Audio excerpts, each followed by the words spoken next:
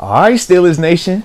Omar Khan is in the lab. He cooking up, chefing up something. I mean, we done seen him get Russ in the building for 1.2 mil.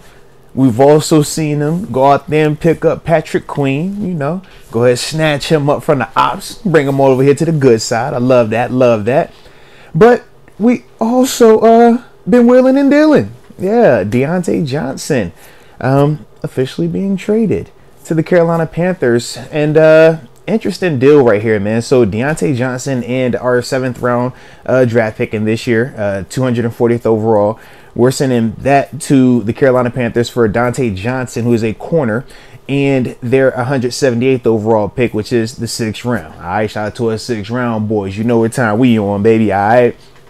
But um, interesting move in the sense of with Diontae Johnson. We know at various points this season there were reports of him being just, you know, a little disgruntled with the situation here um, and with the quarterback play.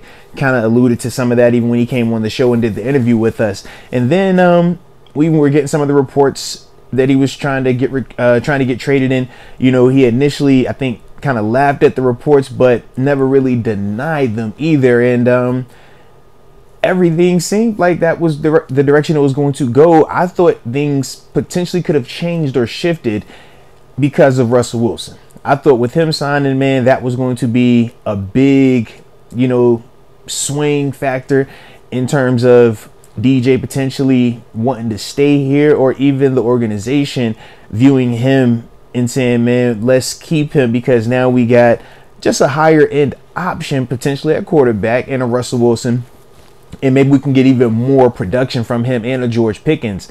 But I was a little bit surprised to see that they went ahead and made that trade, man, and um, moving him in the seventh rounder or a seventh round pick for you know Donte Jackson and a six, We did you know move up, so I do like that from a draft standpoint.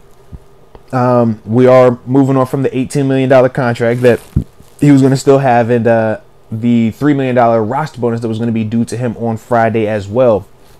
So all of those things are good from a financial standpoint, but obviously we have a whole um, opposite of George Pickens. So that'll be interesting to see what's the next move that we do to ultimately solidify or uh, improve upon the production that Diontae was giving us.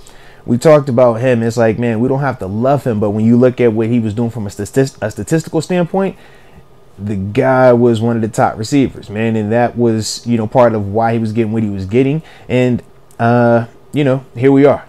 So, like I said, man, interesting to see what Omar does for the rest of free agency or potentially sets up for the draft now.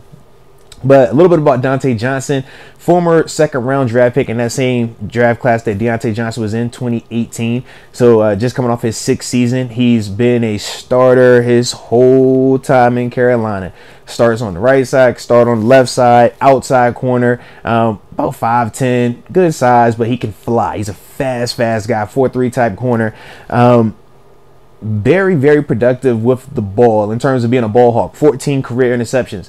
That's a lot of production. Um, this was the uh, this past season was the first time in his career that he uh, had a season without having an interception. So just in that vein, I'm very interested to see you know what we could do with that or what he could bring to the table um, from an interception standpoint. Like you said, man, we love turnovers, especially getting them in bunches. That's something that he has done a good job of.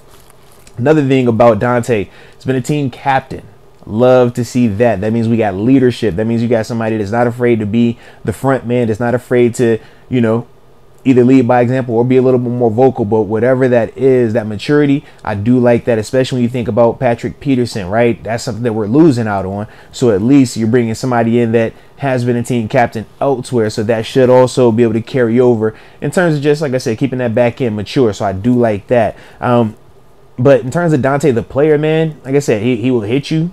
Like I said, I definitely like that. Um, like I said, fast dude though, man. Fast and ball hawk. That's those two things that kind of jump off the screen when I look at him, man. But like I said, man, it'll be interesting to see how we continue to fill out this back end of this uh, of the secondary and stuff like that. But um, let me know your thoughts though. All right, Diontae Johnson traded to the Carolina Panthers for Donte Jackson. All right seventh round, sixth round draft pick swap. Y'all like the move? Y'all hate the move?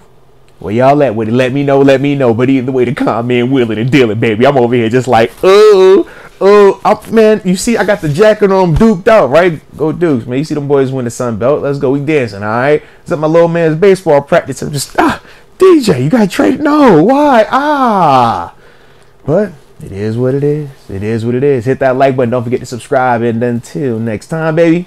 Peace.